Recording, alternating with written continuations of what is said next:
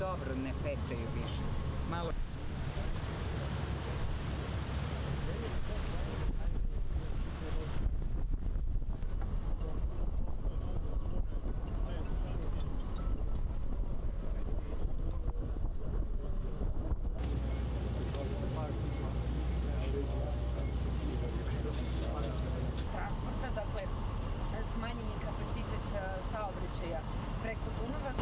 can see at my back is uh, one of the sunken vessels by the retreating German army in 1944. These vessels have been sunken and have been lying on the riverbed ever since. This is a problem. It's a problem for the traffic on the Danube because it restricts the capacity to move. It's a hazard because these uh, sunken vessels could still contain unexploded ordnance.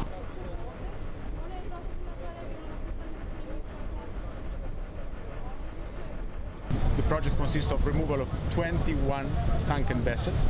It has been estimated that more vessels are underwater, up to 40, but those that are currently impeding the fairway conditions of the of the of the Danube, especially during a period of low water level, are 21.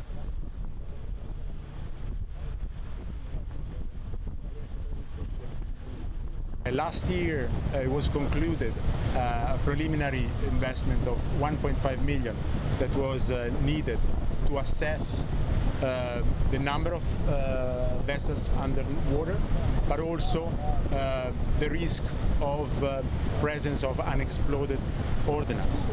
So that is the reason why the, the project is very complex and foresees a number of, of technical um, uh, Uh, steps to be undertaken before before it's concluded.